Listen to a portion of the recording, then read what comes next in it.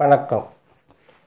இப்போது பார்த்தீங்கன்னா காசநோய் காசநோய் என்று சொல்லப்படுகிறது வந்து டிபி அது ஆளையே உருக்கத் தொடங்கிடும் இருமல் சளி அப்படின்னு.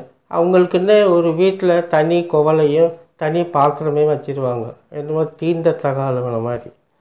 இதே மாதிரி வந்து நீங்கள் ஆஸ்பத்திரிக்கோ ஆஸ்பத்திரிக்கோ போக வேண்டியது இல்லைங்க நம்ம மார்க்கெட்டில் கிடைக்கக்கூடிய அறநெல்லிக்காய்.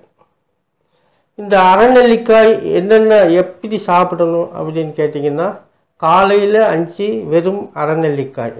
அதை சாப்பிட்டு அந்த கொட்டையை திப்பிடுங்க வேறு உப்போ இப்போ எதுவும் தொடக்கூடாது அதே மாதிரி பகலில் வந்து நீங்கள் சாப்பிட்ட பிற்பாடும் சரி சாப்பிடாத முன்னாடியும் சரி இந்த அறநெல்லிக்காயை மீண்டும் அஞ்சு. அதே மாதிரி நைட்டில் வந்து சாப்பிட்டு படுக்க போகும்போது அஞ்சு.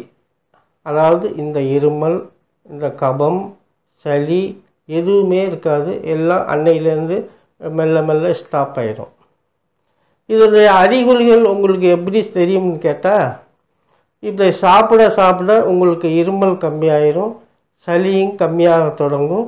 உங்கள் உடல் வந்து கொஞ்சம் தேர ஆரம்பிச்சிடும் நல்லா பசி எடுக்க ஆரம்பிக்கும். நல்லா இருப்பீங்க. அதாவது உங்களுக்கு தேகம் வந்து மெலிஞ்சி மெலிஞ்சிருக்கும்.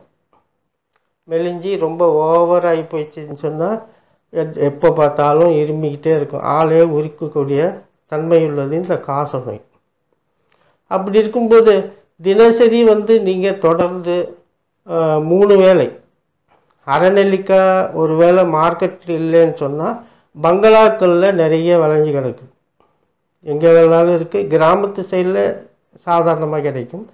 டவுனில் உங்களுக்கு வேணும்னு சொன்னால் பங்களாக்களில் வந்து மரம் இருக்குது அவங்க பறிக்கிறதே இல்லை அது ஒரு அழகுக்காக வேண்டியே வச்சுருக்காங்க.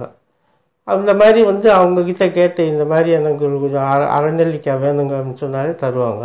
ஒரு சில நேரம் மார்க்கெட்லேயே கிடைக்கும்.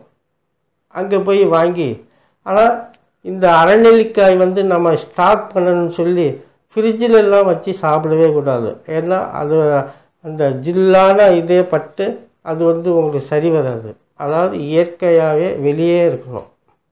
அப்போ தான் வந்து இந்த காசநோய் என்று சொல்லக்கூடிய இது படிப்படியாக அப்படியே குறையும். இதை சாப்பிட்ட உடனே எனக்கு குறையவே இல்லை. இதில் பார்த்தேன் எனக்கு சரியில்லை அப்படின்னு நினைக்கக்கூடாது. அதாவது தொடர்ந்து உங்களுக்கு குணம் ஆகிற வரை தொடர்ந்து சாப்பிட்டிங்கன்னா அதிக செலவில்லாத ஒரு பொருள் அறநெல்லிக்காய். என்ன சும்மாவும் பங்களாவில் தருவாங்க. ஒரு சில நேரம் மார்க்கெட்டில் கிடச்சதுன்னா வாங்கிட்டு வந்துங்க வாங்க. ஒரு முப்பது ரூபா நாற்பது ரூபா இருக்கும் ஒரு கிலோ. அவ்வளோதான் வேறு அதிகமே கிடையாது.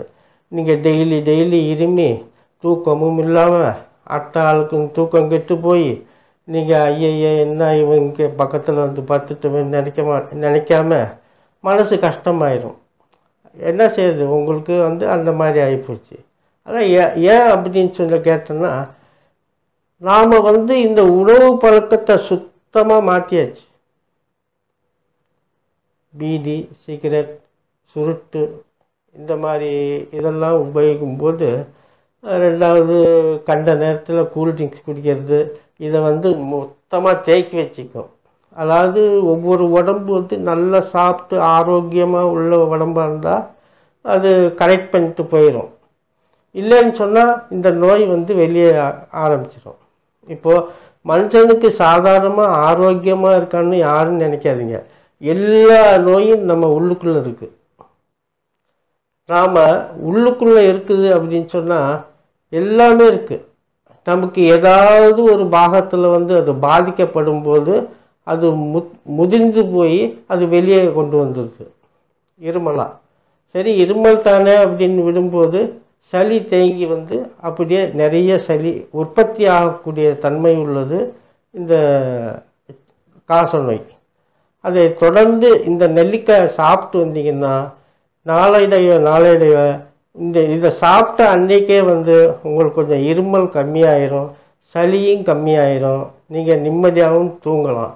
மற்றவங்களுக்கும் தொந்தரவு இருக்காது. மற்றவங்களோட நீங்கள் தாராளமாக பக்கத்தில் கூட படுக்க வேண்டிய சூழ்நிலை வந்துடும் அதனால் இந்த வீடியோ பார்க்குற நீங்கள் தயவுசெய்து மற்றவங்களோட பகிர்ந்துக்கிட்டு இந்த வீடியோ கீழே இருக்கிற சகப்பு பட்டனை அமுக்குங்க.